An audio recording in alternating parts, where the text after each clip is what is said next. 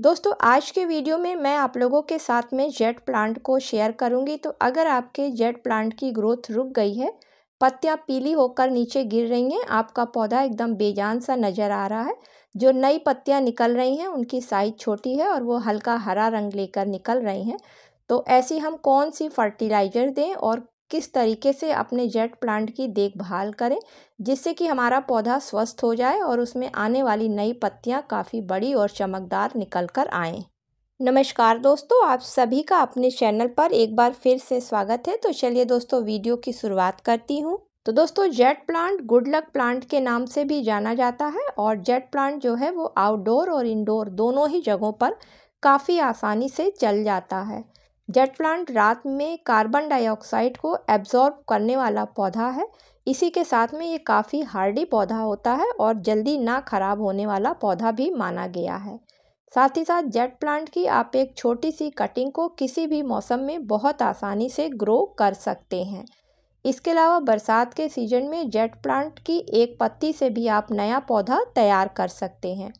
साथ ही साथ jade plant को सुबह की तीन से चार घंटे की धूप चाहिए होती है और छः से आठ इंच के गमले में ये बहुत आसानी से ग्रो हो जाता है।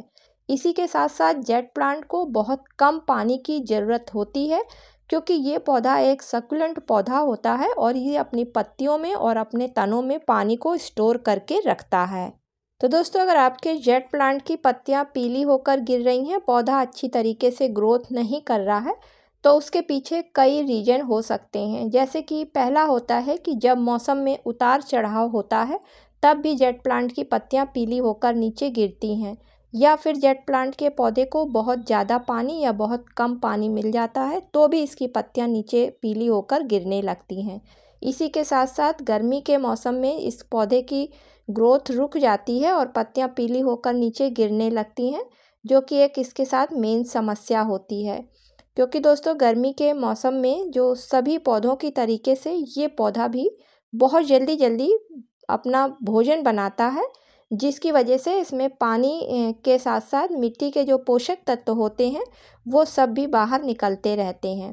और उस मिट्टी में फिर पोषक तत्वों की कमी हो जाती है, साथ ही साथ मिट्टी एल्कलाइन हो जाती है जिसके कारण जो पौधा है, उसकी रूट्स मिट्टी से पोषक तत्वों को अच्छी तरीके से नहीं ले पाती हैं और पौधे की पत्तियाँ पीली होकर नीचे गिरने लगती हैं। तो दोस्तों, जैसे ही फरवरी का महीना लगता है तो ये भी डोरमेंसी पीरियड से बाहर निकलकर अपनी ग्रोथ को स्टार्ट कर देता है और इस समय जेट प्लांट के ऊपर नई नई पत्तियाँ निकलने लगी हैं, जो पुरानी पत्तियाँ हैं, वो लगभग झड़ चुकी हैं।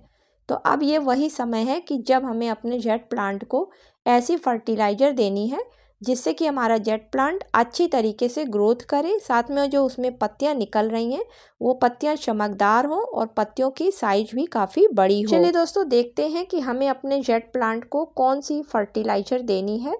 तो चूँकि जेट प्लांट एक पत्तियों वाला पौधा है और जितनी भी पत्तियों वाले पौधे होते हैं, उन सभी को नाइट्रोजन की काफ़ी ज़रूरत पड़ती है।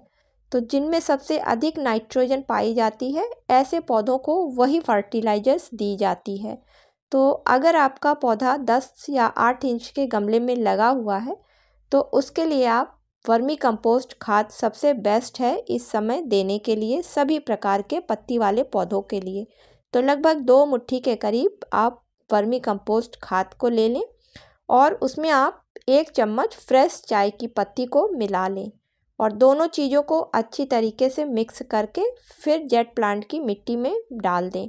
क्योंकि दोस्तों, चाय की पत्ती में भी चार परसेंट नाइट्रोजन पाई जाती है और वर्मी कंपोस्ट खाद में लगभग तीन परसेंट के करीब नाइट्रोजन पाई जाती है। इसी के साथ में ये दोनों फर्टिलाइजर्स जो होती हैं, वो ऑर्गेनिक होती हैं। अगर कम ज़्यादा कुछ हो जाता है तो पौधे पर उसका कोई फ़र्क भी नहीं पड़ता है। इसी के साथ में चाय पत्ती में एक टेनिन नामक एसिड पाया जाता है, जिसकी वजह से पौधे की पत्तियों पर किसी तरीके की बीमारी नहीं लगती है। साथ ही साथ जो पत्तियाँ नई निकलती हैं, वो काफ़ी साइनिंग वाली होकर निकलती हैं। तो दोस्तों, अगर इन दोनों फर्टिलाइज़र्स का आप अपने पौधों पर महीने में एक बार इस्तेमाल करते हैं, साथ ही साथ तीन से चार घंटे की सुबह की पौधे को धूप दिखाते हैं तो रिज़ल्ट के रूप में आप देखेंगे कि आपका जेट प्लांट काफ़ी हरा भरा और घना है। साथ में जो नई पत्तियाँ निकल रही हैं, वो काफ़ी साइनिंग वाली हैं और बड़ी पत्तियाँ भी साइज़ में हैं। उम्मीद है कि आज का वीडियो आप लोगों को पसंद आया होगा। दोस्तों, पसंद आया हो तो इसे लाइक और शेयर करिएगा। मिलती हूँ किसी अगले वीडियो में किसी नई जानकारी के साथ में। तब तक के लिए दोस्तों, हैप्पी गार्डनिंग!